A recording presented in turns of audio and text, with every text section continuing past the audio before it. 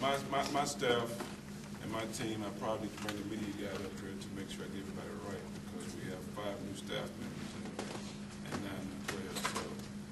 Um, we planned it that way for the basketball team, not for the staff, because last year we felt like, um, bringing freshmen and for them to contribute this year would be tough on them. So what we did was the route of transfer junior college. So we felt like um, that would make us a better basketball team for the second season. And we had Robert Vaden, Channing Toney, and Walter Sharpe, three guys that played in uh, major conferences, uh, two in the SEC, and one in the Big Ten.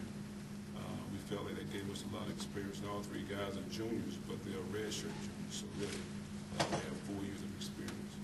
Um, It was good to have them practice last year every day, even though we changed a lot of our system offensively this year. Felt like it was good to have them in practice. Uh, We have returning uh, Lawrence Kinnard, Paul Delaney, and Frank Holmes, all three guys started for us last year.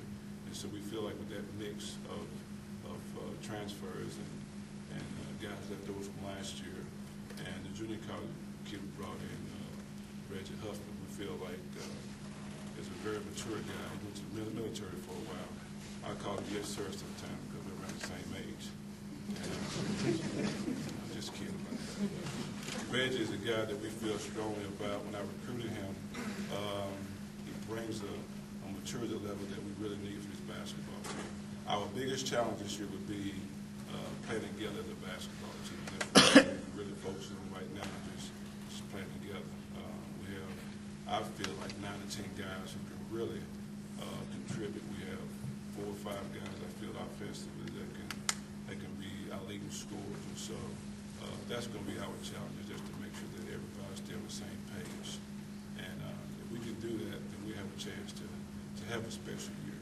And uh, there's only four or five teams in the country that's going to make that commitment of play together as a basketball team. And so if we can get to that level, and we have a ways to go right now, we have a ways to go. But if we can get to that point, then uh, this could be an exciting basketball season for us. Um, So, uh, there any questions? You mentioned changing the offensive system. Um, Can you be more specific? Well, last year, we wanted to play fast, but we only had eight scholarship players. So with eight scholarship players and three of those scholarship guys being freshmen, uh, there was only a certain amount of things we could do offensively. So we uh, played a lot of half-court offense last year, and we, we very seldom scored in transition. Uh, When we did, it was early in the year when Paul went coast to coast, and teams figured that. So this year, we have a lot of depth. We want to push the basketball up the court, but we also want to cut back on our turnovers. I felt like uh, last year really hurt us from a turnover uh, standpoint. This year, we don't, we want to play fast, we don't want to turn the basketball over. And uh, we, we uh, have some guys this year who can really shoot the basketball. We have some guys that can score the ball. And so uh, we want to make sure that we give guys uh, a lot of opportunity to do that, play their strength. And what we want to do is try to put certain guys in certain situations where they can score the basketball. One question is good. Coach, how, how deep do you think your play rotation will go? How deep? Yeah. Uh, I'm not sure because we have a lot of demand, and uh, we feel like uh, the guys we put on the floor want them to play a certain way, and we feel like they're not playing that certain way, we'll. And so that could be anywhere from nine to ten, or eleven to twelve. But we uh, we're, we're put in a situation this year where we don't have to keep guys on the court for long periods of time who's not playing the way we want them to play.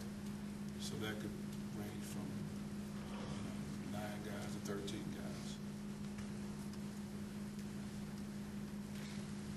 You got a question, Judy? Any other questions for Coach Dan before we break into individual interviews? All right, thank you.